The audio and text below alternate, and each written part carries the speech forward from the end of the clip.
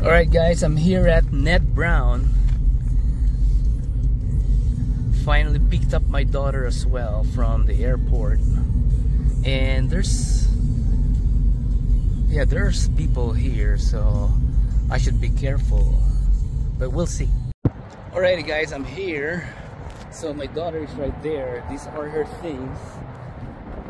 Yeah, I, I picked her up from the airport. So I'm here at Ned Brown I believe this is part of Busse Woods. So I brought my I brought my drone with me. And maybe I'm just gonna fly two packs and I'm gonna go there. Yeah. I don't wanna go there because there are people right there. See? Maybe just right here. Yeah, this will be fun. It's really windy right now. So it's it's a bit scary doing some split S. Maybe if I can come from the maybe if I come from there and then go over the tree here it's fine. Instead of instead of coming here and then going there that's gonna be scary because the wind is going towards me yeah. Alright guys let's get started. Alrighty guys finally I'm ready.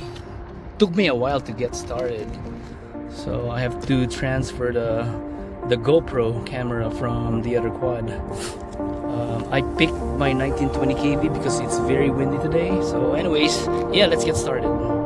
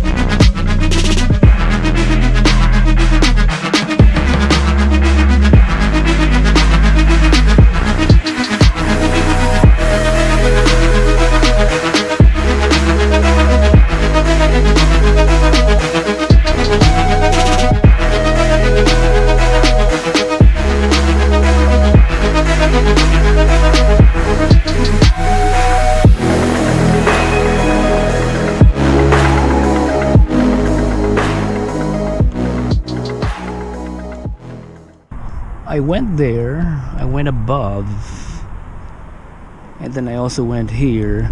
I think I almost hit hit that branch over there earlier.